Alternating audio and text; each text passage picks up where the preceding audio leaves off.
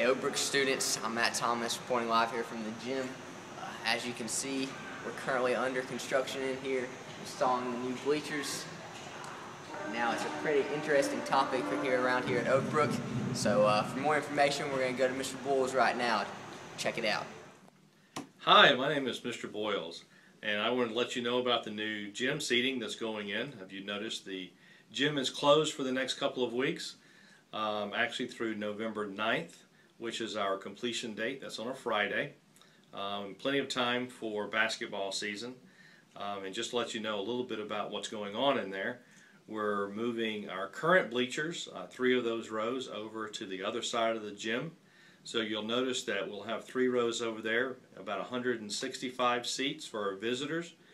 And then on the home side, um, you're going to notice a huge difference. We're going from six rows of seats to up to nine rows of seats.